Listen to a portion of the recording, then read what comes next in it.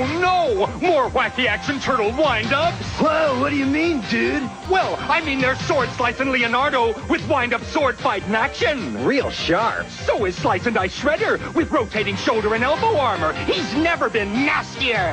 The guy's a real creep. And so's Creepy crawling Splinter. He's creeping up on Shredder all by himself. Hey, you'll never catch him lying down on the job. Got it? Teenage Mutant Ninja Turtles. From Playmates.